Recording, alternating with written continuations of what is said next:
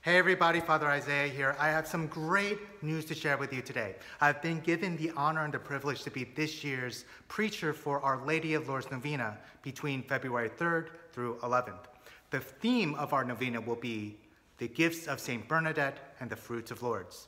So in the morning, we will have Mass with preaching and the blessing of the relic of St. Jude, and in the evening, we'll be having a recitation of the Rosary with the Dominican friars.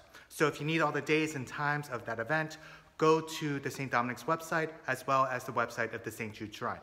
So through the intercession of St. Bernadette and through the intercession of Our Lady, the Immaculate Conception, may God always bless you.